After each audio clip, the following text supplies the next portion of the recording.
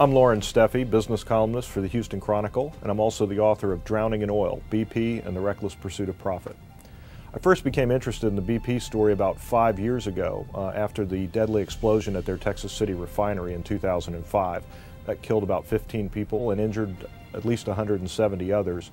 And from that accident, we began looking back at some of the other safety issues that were going on within the company. For several years, I had actually very good access to BP executives. I interviewed Tony Hayward three times. I interviewed Bob Malone, who was head of BP America, on numerous occasions. I toured their Thunder Horse facility. John Browne became CEO of BP in 1995, and he really set the company on a course uh, to become one of the biggest oil companies in the world. He wanted to take what had been kind of a stuffy, government run enterprise and, and expand it to the point that it would rival Exxon as, as one of the world's largest oil companies. Now, Browne was able to really grow BP into to quite a large company, mostly through mergers and acquisitions, primarily here in the U.S.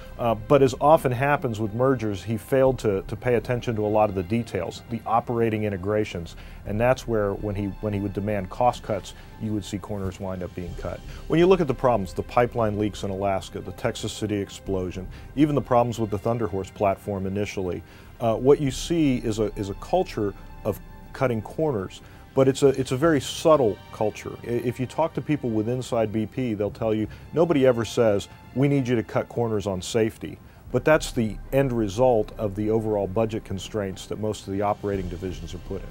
They didn't monitor the, the way individual decisions might compound to result in disaster. It's something known as process safety. And when you look at other oil companies, that's one of the things they really stress, they put a, a big emphasis on. And that emphasis was really lacking at BP. I would like to think that the culture of BP will change, but they've had an awful lot of warning signs that haven't been heeded up to now. Their new CEO, Bob Dudley, is also an insider, so I'm not sure that he's going to really bring the fresh perspective that's needed. Uh, the industry likes to talk about its safety record in the Gulf, but when you look at the history of BP, this spill is really in context. Uh, it really follows their other operating disasters of the past 10 years. You know, I think it's important to remember that these types of accidents have a profound impact on the families. Uh, you know, many of them have lost loved ones, fathers, brothers, sisters, mothers. In some cases, people are still struggling. They're, they're still having health problems. In some cases, their lives will never be the same.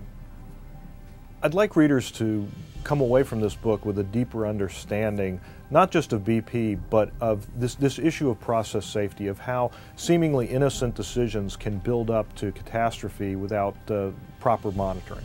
The largest misconception about this spill is that it, it was a one-off, that this was something unusual.